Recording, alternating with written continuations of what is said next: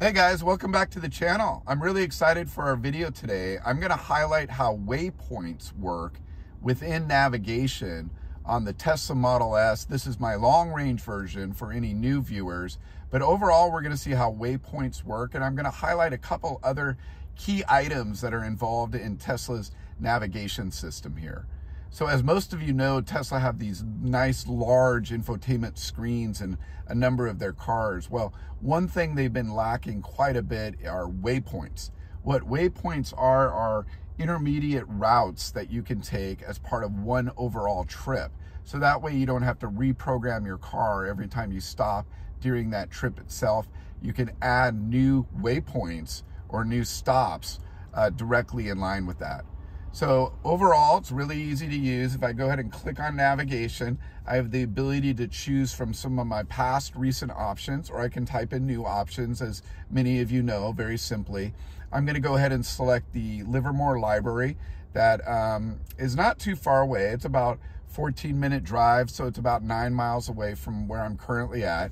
Now, if I wanted to add a stop in the middle of this, it's really easy. All you do is hit these three dots right here, and then you can click add a stop. So let's go ahead and click add a stop. And I'd like to go to Starbucks. So you can quickly type Starbucks in very easily. And you get all your Starbucks options here. So I'm gonna head to this one that's only 1.5 miles away and I'll wanna go there first. So you can see right away, it already added that in as a stop. So if we start off here, we're gonna hit that Starbucks first which is where that black pin is, and then it will take us to the Livermore Library. Now let's say I have a number of errands to run today and I wanna add another one. So let's go ahead and hit that. I can go ahead and hit add a stop, and now I need to go by Best Buy on my way there. And I actually have Best Buy down here. I'm gonna select Best Buy. So now you can see it's wanting us to go to Best Buy first, Starbucks second, and the library. Well, you know what? That's not really the route I want to go. I actually want to go to Starbucks first. So easily you can click on these three dots again, click on edit trip, and now I can change those different options. So if I want to go to uh, Starbucks first, you just grab this little handle here, right here, and you slide it up. See how easy that is? So now I'm going to go to Starbucks first, then Best Buy, and then the library. And even if I want to add one more, I'm going to go ahead done. But if I want to add one more spot, I can go ahead and click on the three dots here, add a stop. And let's say I need to go buy REI because I need to get some outdoor sporting goods um, equipment for my family. So I can click on REI and right away it's going to now route. We're going to go to REI first, then Starbucks, then Best Buy, and then library. But you know what? I still want to go to Starbucks first click the three dots, click edit, and let's go ahead and slide Starbucks for the first position. And then I'm gonna go to Best Buy, then REI, and then the library. So I can go ahead and click done on the editing process. And there you go, it's really that easy. Shows you your battery strengths all, all the way along. So that's really, really nice to see that. Again, this is a great feature for you to plan one overall trip, multiple errands and stops that you want to go, and it calculates all of this within the computer itself. So great, great feature to have.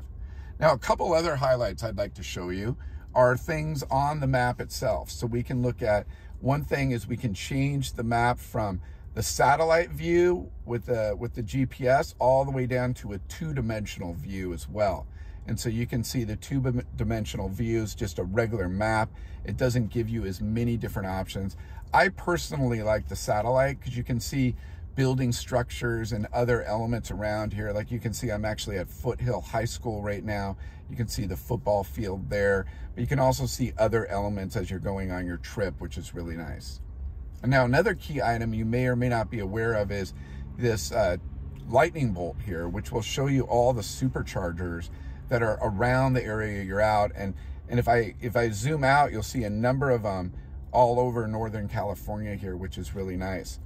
Now, some of you may ask, what do the numbers mean on these, these red um, pins? Well, let me tell you. So what these numbers mean are how many different supercharging stalls are available right now in real time.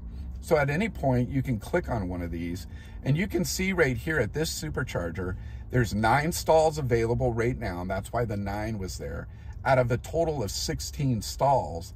And the max output for this supercharger is 250 kilowatts. So that's fantastic. You can also see your charging rates. Um, and some of them are based on time, but you also, if you leave your car charging for too long because you go into a restaurant or something like that, then they will charge you a $1 a minute idle fee. So those can get very, very expensive. You definitely want to keep your eye on that. Now, another thing you may or may not know are what is around this particular supercharger. That's what these icons here represent. So you have your shopping, your coffee, food, other different options as well. Let's go ahead and click on the shopping capability around that. You'll see right away that there's the Gateway Center. That's really the only shopping that's there. So that's interesting. Uh, let's go ahead and look at that eight, or that eight or nine staller again. Okay, let's see what else for coffee. What do we have there? Um, coffee, there's Starbucks, there's a Boba Bliss that's available like within walking distance, 0.1 miles, 0.02. So that's that's really interesting to see that as well. And look how nicely it zooms in on on the street area um, that's surrounding that area. So that's really nice also. Uh, one more one more click in here. I want to show you guys.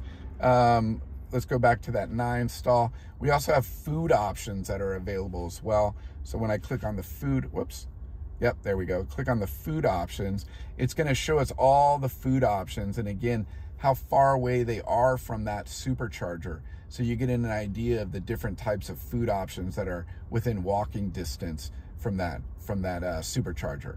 So that's also a really, really, really good feature.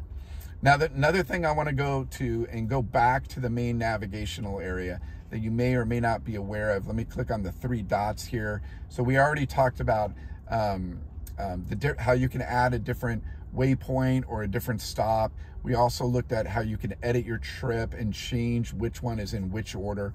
I also want to show you the settings. This is an important one. So many people may or may not know about the settings.